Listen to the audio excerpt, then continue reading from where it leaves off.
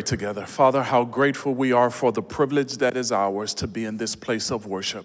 May we not take our gathering for granted, but with hearts filled with praise, God, we will worship you. For you and you alone are worthy of our affirmation, our adoration, and our praise. So, God, we we worship you today. And now, as we turn our attention toward your word, our prayer, God, is that you would make it come alive, that you will speak to us, that you will challenge us, but ultimately, God, that you will change us. Continue to conform us into the image of your dear Son, Jesus Christ, for it's in his name that we pray and ask you for it all. And the people of God said, Amen. Well, good morning. I greet you with Jesus' joy. What a joy and privilege it is to be back with you. Thank you, Pastor John, for uh, the privilege of being back here. I said this morning, it's good to have been invited back to get uh, to get right this time what I got wrong the last time. But uh, certainly grateful for the privilege to uh, our leader, Sister Gloria, thank you so much for the invitation to come. Well, if you have your Bibles, turn with me to the Old Testament book of Jonah. We don't, we don't hear much about Jonah these days, especially as it relates to evangelism and missions, but I believe that it's right here in the text. And Pastor has already shared with you, I try to stay close to the text. There's safety in the text. And so it is my custom to stand for the reading of God's word. I know you've already settled in and gotten ready for the nap. But uh, if you would just, uh, if you're at all able, once you arrive at Jonah chapter 3, if you'll join me on your feet as we reverence and respect the reading of the word of the Lord.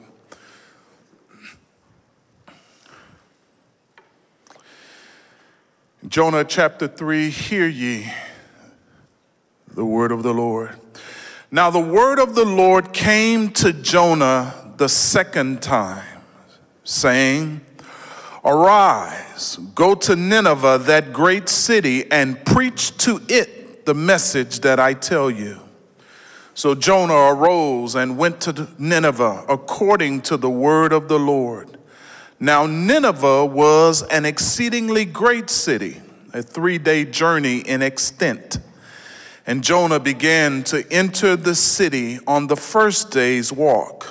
Then he cried out and said, Yet 40 days, and Nineveh shall be overthrown. Amen. That's enough. You may be seated in the presence of the Lord.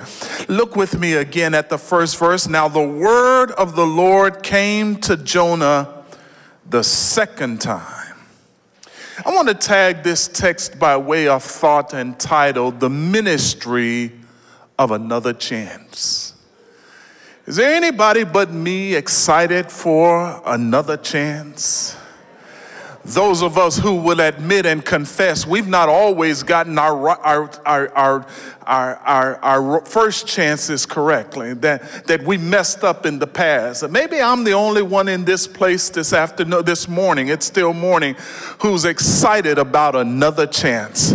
I've lived long enough, I've been in ministry long enough to just thank God for another chance, another opportunity, another privilege, another privilege to be in his house, another opportunity to worship him. Maybe you get it right the first time, but some of us have to thank him for another chance. Ah, uh, yeah, yeah, yeah.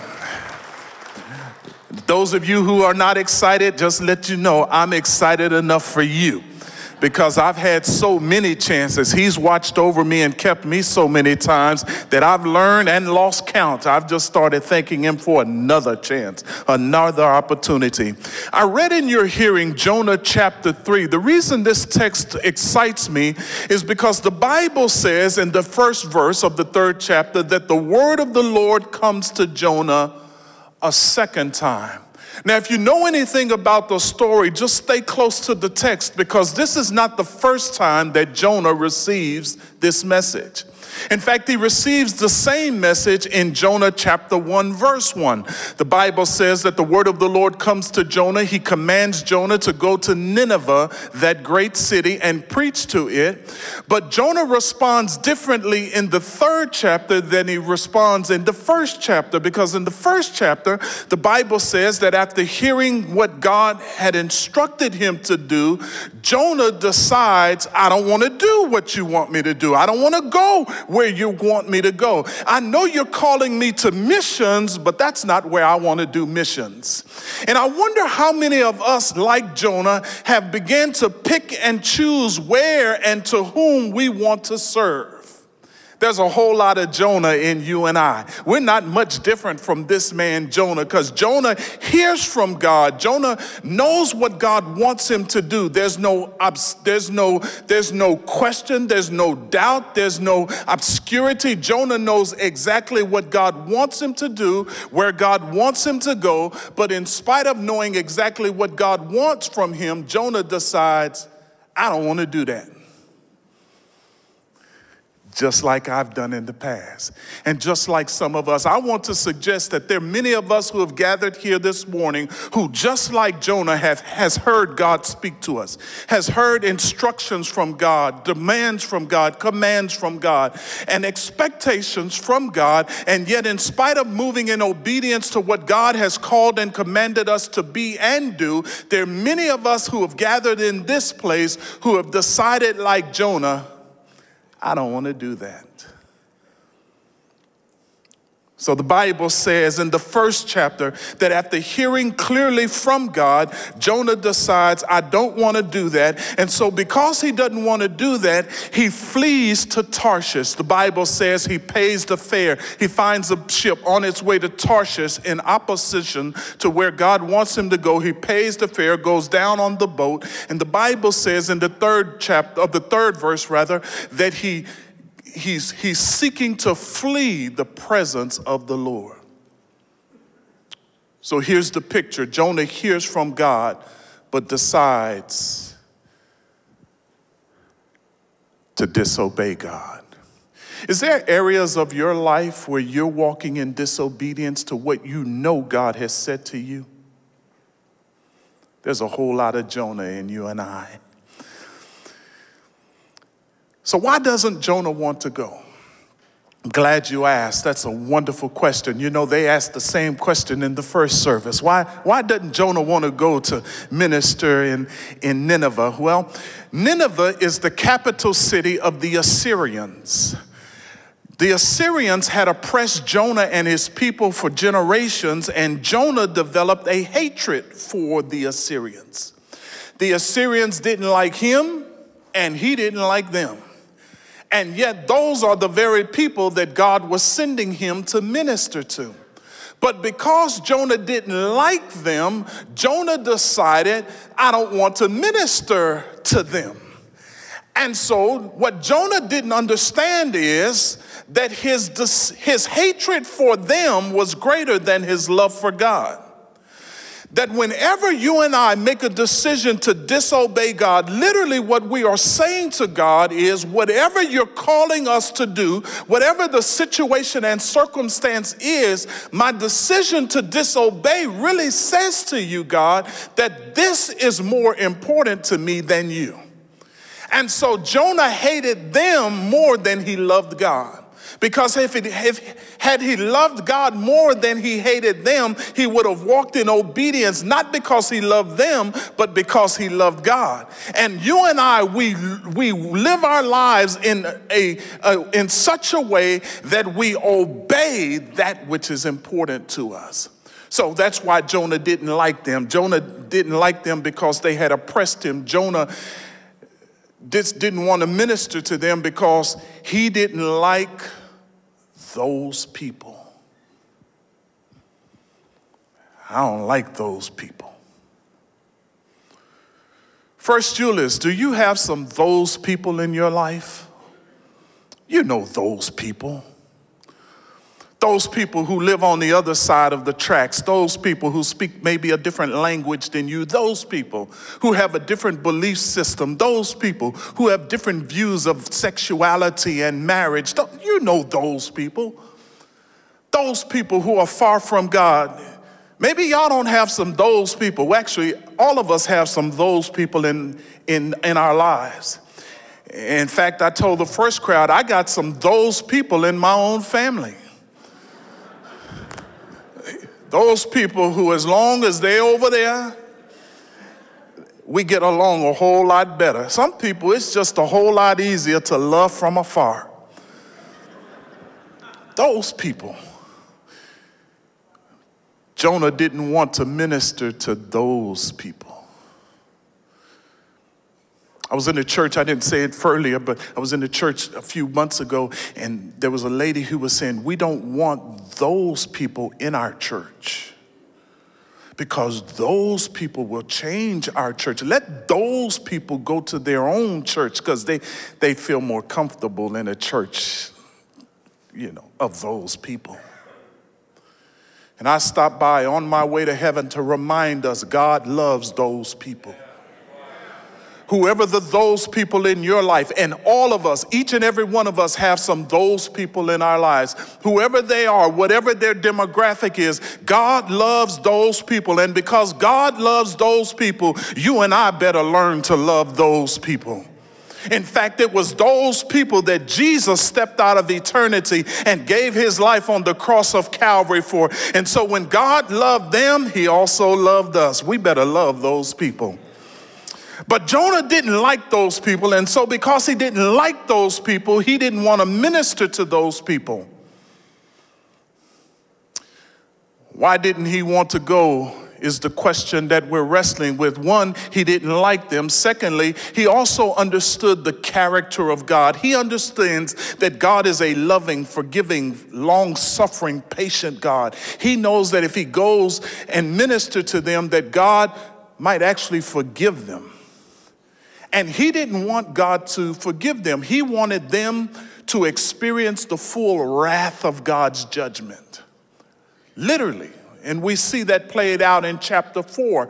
But, but Jonah did not want God to forgive them because he knew the nature of God, but he also understood the transformational power of the gospel.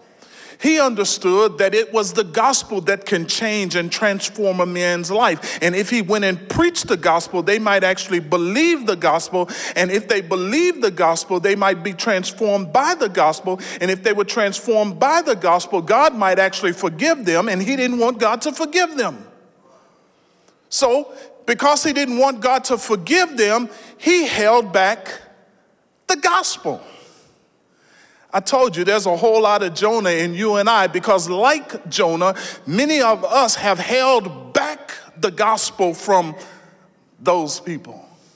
We have picked and chosen who we want to minister to, who we want to share the only message of transformation with, which is the gospel. It is the gospel that transforms men's life. Paul wrote it this way in Romans chapter 1 verse 16. He said that I am not ashamed of the gospel, for it is the power of God unto salvation. It is the gospel that transforms men's life, not politics, not social services. It is the gospel. So if we want to begin to to see Euless and, and Texas and the world transformed, it's only going to be by the gospel. And whenever you and I hold back from sharing the message of the gospel, literally we are putting people in damnation and putting them in danger of one day experiencing the full wrath of God's judgment. So Jonah doesn't want to go. And so the Bible says in the first chapter that he flees God, gets on a ship, pays the fare, seeking to flee the very presence of the Lord.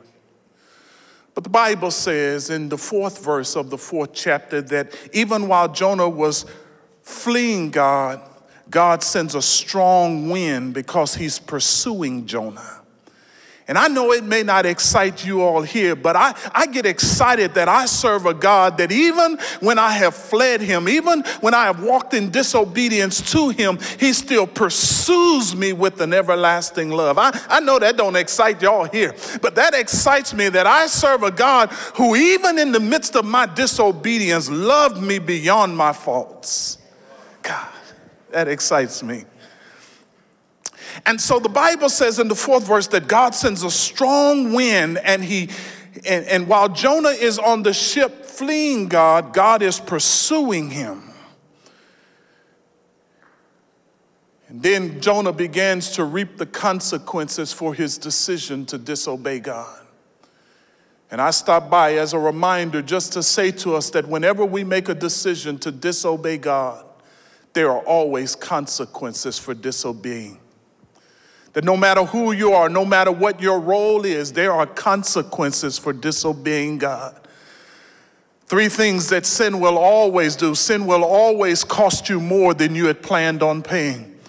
Sin will always take you further than you initially planned on going, and sin will always keep you longer than you initially intended to stay. Sin will always do those things. And whenever we make a decision, you and I make a decision to disobey God, there are consequences. We see it played out in the life of this man, Jonah, in the first chapter, that throughout the first chapter, we see Jonah hearing from God, deciding to disobey God. And the rest of the chapter, of the first chapter, we see Jonah reaping the consequences for his disobedience. My friends, there are, there are consequences for disobeying God. And by the end of the first chapter, we see Jonah being thrown overboard. The Bible says in the 17th verse of the first chapter that God creates a great fish to swallow Jonah. And I used to think that the fish was punishment. But when you read the text more carefully, you see that the, ro- that the fish was not punishment, the fish was actually protection that even though Jonah was fleeing from God, God created this environment to protect Jonah because even though Jonah was disobeying God, God still wants to use him. And let me just put a dime in the meter and park there for a moment and say, even though you've disobeyed God in the past, the fact that you still have breath in your body and life in your body, God still wants to use you. God loves you. God has a plan and purpose, yes, even for you. Uh, that don't excite y'all. That, that, that excites me that God loves me, that God still wants to use me. And it doesn't matter how bad I've messed up, how many times I've messed up. In fact, I've messed up so many times, I've learned to just thank Him for another chance. Ah. And so at the end of the first chapter, we see Jonah being thrown overboard, God creating a great fish to swallow him. And in the entire second chapter of Jonah's story, we see God dealing with his servant Jonah in a negative environment. Here's what I've discovered that sometimes God has to allow negative environments because He can get our attention in the negative environment when He can never get our attention when everything seems to be going all right. Is there something about the valley experience that God can speak to us and get our attention that He can't get our attention when we're on the mountaintops of life? I don't know about you, but when I'm on the mountain peaks of life, I don't pray as hard. I don't study as diligently. I don't draw near to God like I do in the valley.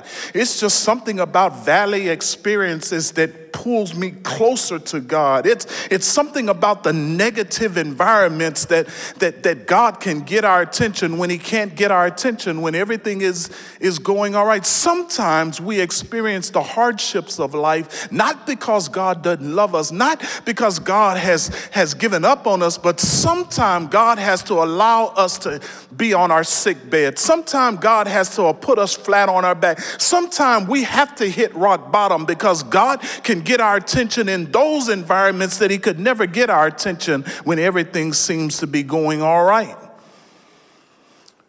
And so in the second chapter, we see Jonah in the belly of this great fish at the bottom of the sea, and it's in that environment that he can get God's attention. Now, I said all of that to get us to our text.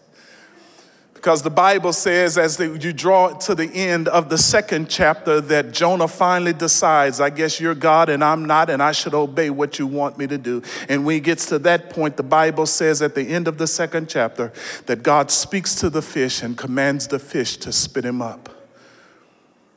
And even the fish obeys God vomits Jonah up on, on dry land after three days and three nights. Then that the word of the Lord comes to Jonah a second time. Says to him, Jonah, go down to Nineveh, that great city, preach to it the message that I give you. The Bible says, and Jonah went to Nineveh according to the word of the Lord. Wait a minute, put a dime in the meter. Wait, something happened. Push rewind and play. Look at the text. God hadn't changed. God's message never changed. In the first chapter, he said the same thing to the same servant, but something happens differently in the third chapter. The same God speaks the same message that the same God spoke in chapter one. What happened between chapter three and chapter one? I'm glad you asked. Chapter two. It was the negative environment that got Jonah's attention. It was the negative environment that got Jonah to change how he responded to the word of God. Can I ask you a question? Is God going to have to do a chapter two in you before you will put your yes on the table and walk in obedience to God?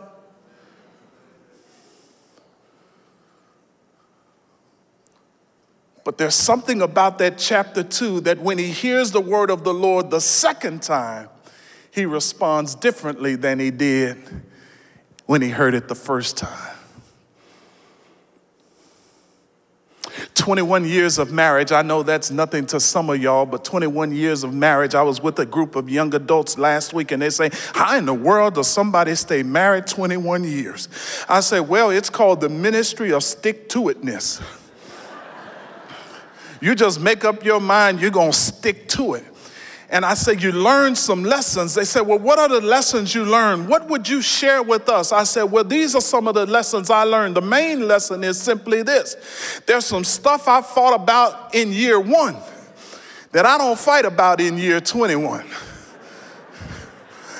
You just learn through, through negative situations, negative environments, that even when you win the fight, but John, you don't really win the fight. Somebody will get that on the way home. Say, oh, that's what he meant. Okay, I get it. I, I get it now. I get it now. You never, men, you never really win.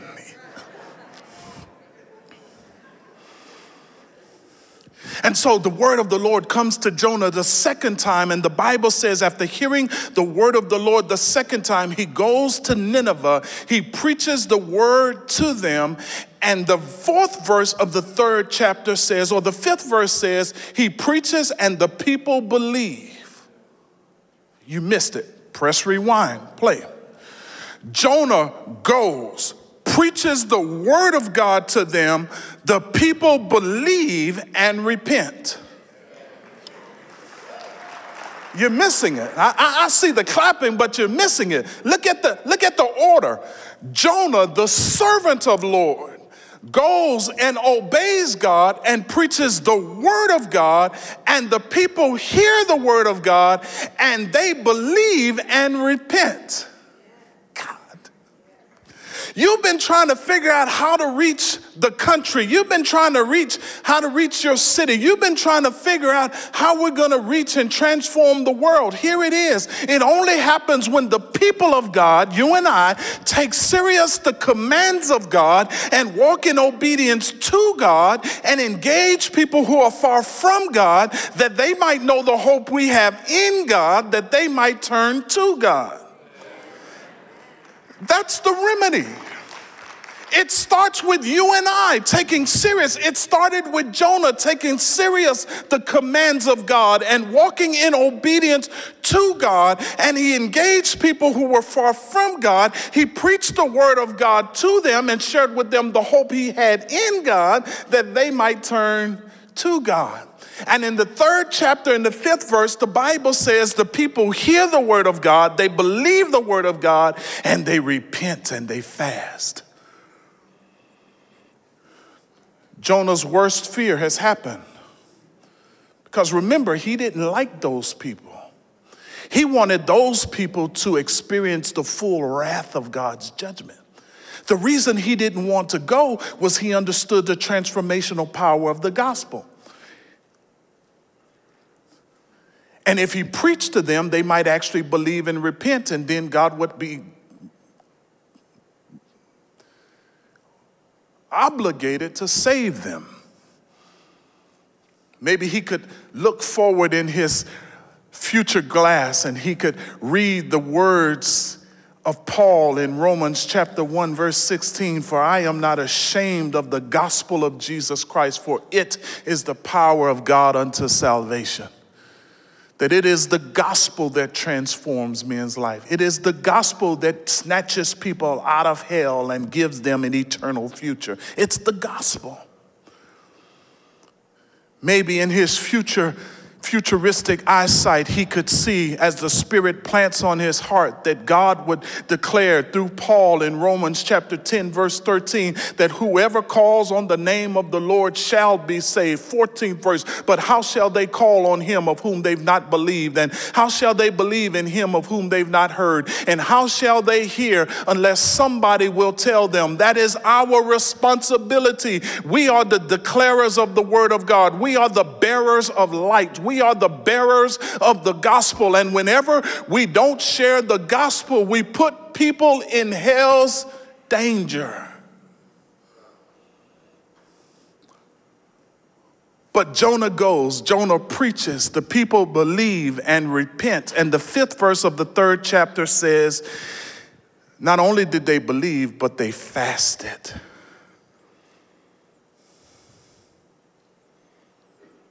Sixth verse says, Not only did the people believe, but the king also believed.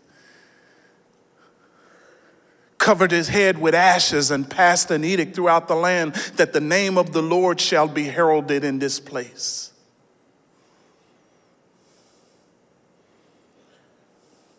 Tenth verse of the third chapter says that God saw that the people believed and repented, and he relented.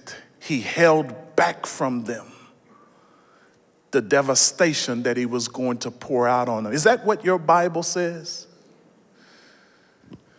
Your Bible tells you that when God saw how the people responded, he held back from them the devastation and destruction that he was going to pour out on them. And for many years, we've heard I've heard this story of Jonah. Sunday school, VBS, Awana, our, our sermons, I've heard this story about this man, Jonah. And here's what I always heard about Jonah here was a man who heard from God. Here is a man who decided to disobey God. Here is a man who reaped the consequences of his disobedience because he found himself on a ship then in the belly of a fish that he stayed for four days, for three days, three days, three nights. And after three days, three nights, the fish vomited him up on dry land. That's all I ever heard of this man, Jonah. But when you read a little bit closer, you find out a little bit more about Jonah. Here's what I never heard about Jonah here was a man who had a significant, impactful ministry. I never heard that about Jonah, but it's right here in the text. God gives us insight in chapter 4, verse 11, because after Jonah experiences this great ministry revival in chapter 3, you would think he'd be happy, but he was really upset. Because remember, he hated those people. And while God is dealing with Jonah, in the 11th verse, he gives us an insight and a descriptive of this great city, Nineveh. In fact, your Bible tells you that God says that of Nineveh, this exceedingly great city, it was a city of 120,000 people. Here's the picture that because Jonah went, because Jonah preached, because Jonah declared what God said to him, 120,000 people were saved. God. I don't know a preacher alive well, Jonah's not alive, but I don't know a preacher today. I've never met a preacher who would not be excited about 120,000 people giving their life to the Lord and being saved. You'd be pretty, you'd be pretty excited about 120,000 people giving their lives to the Lord. So the picture is that because of Jonah's ministry, 120,000 people were saved.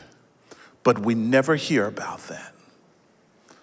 All we ever hear about Jonah is here's a man who heard from God, here's a man who disobeyed God, here's a man who reaped the consequences of his disobedience, ended up in a fish that spit him up on dry land. That's all we ever hear about Jonah. Because as significant and as impactful as his ministry was, it's always overshadowed by his disobedience. And sometimes we can't see his ministry because his disobedience covers it up. Here's the point